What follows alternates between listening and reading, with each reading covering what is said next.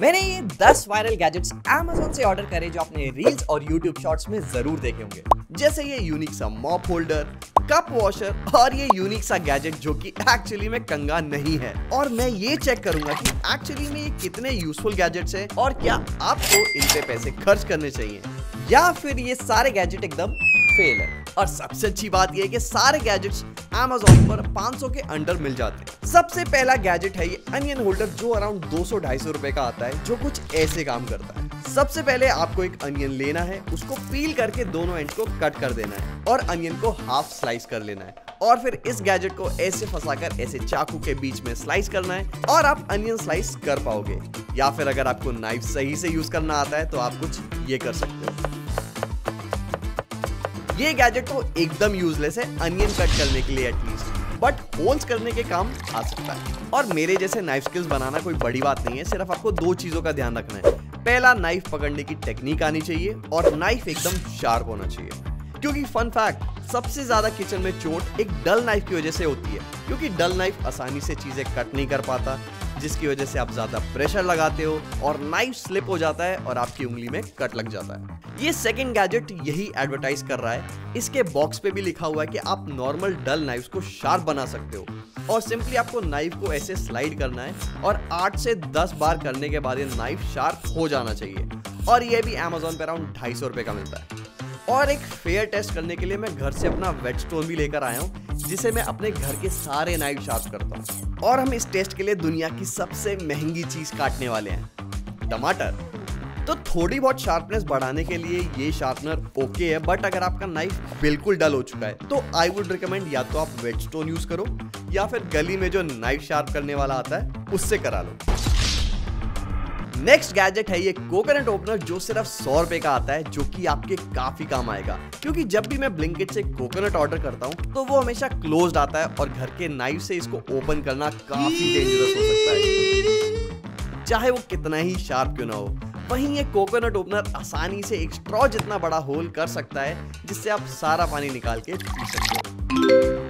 और अगर coconut open करने के बाद थोड़ा पानी नीचे गिर भी जाए तो नॉर्मली पोछे और वाइपर से साफ़ करके वाइपर साइड में रख सकते हो। वाइपर साइड में रख सकते हो। या फिर आप ये अगला गैजेट भी यूज़ कर सकते हो जो आपके वाइपर ब्रूम जैसी चीज़ों को ऑर्गेनाइज करने में हेल्प करेगा।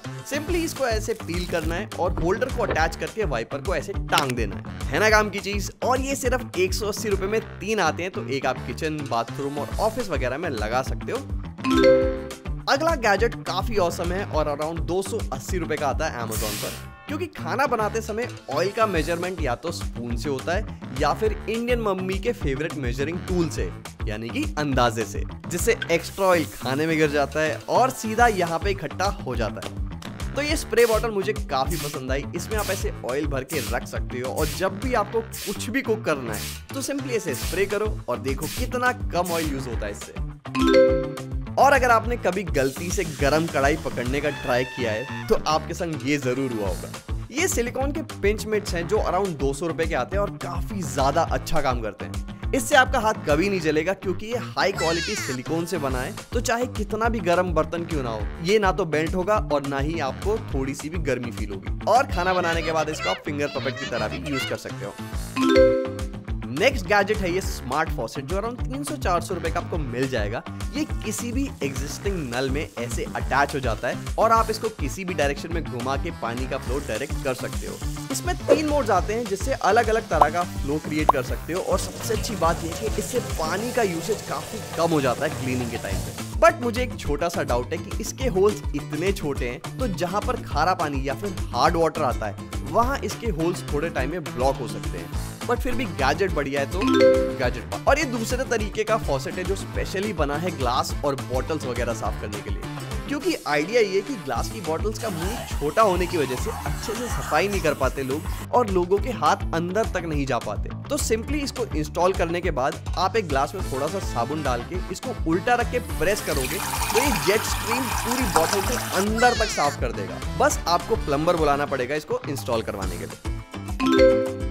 और फिर जब आप सारे बर्तन धो लोगे और उसके बाद किचन साफ़ करोगे किचन टावल से तो उसको सूखने के लिए ऐसे काउंटर पे या फिर फ्रिज पे रखने की जगह इस हैंगर में टांग सकते हो, जो कि काफ़ी इंटुइटिव है और देखने में भी काफ़ी अच्छा लगता है।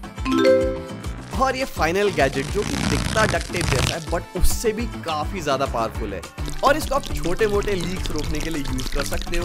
और ये इतना पावरफुल है कि अगर एक बार चिपक गया तो दोबारा वहाँ से कभी नहीं छूटेगा। और इसमें से पानी तो बिल्कुल भी लीक नहीं होता है। तो ऐसे ही बढ़िया गैजेट खरीदने के लिए प्लीज़ सब्सक्राइब